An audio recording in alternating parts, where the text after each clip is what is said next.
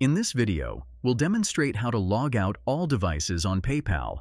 But before we dive in, I invite you to hit that like button if you're excited to learn this and share your thoughts in the comments below. Your feedback helps us create better content for you.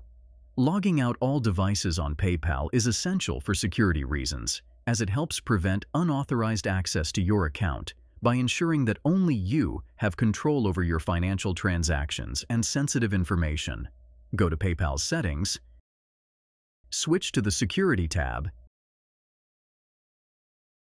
and click on Manage Your Logins to review your login activity. If you want to remove a device or platform from the list, click Turn Off for the relevant device under the Auto Login settings.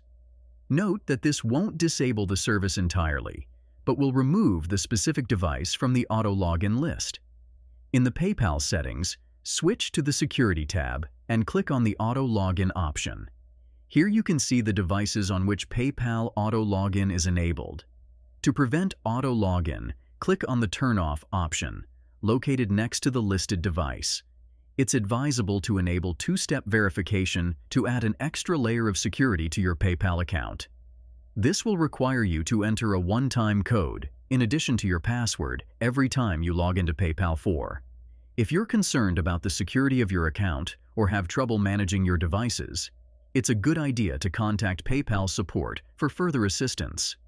Make sure to regularly check your PayPal account for any unusual activity and update your security settings as needed to keep your account safe. If you found this video helpful, please take a moment to like, comment, and subscribe with notifications.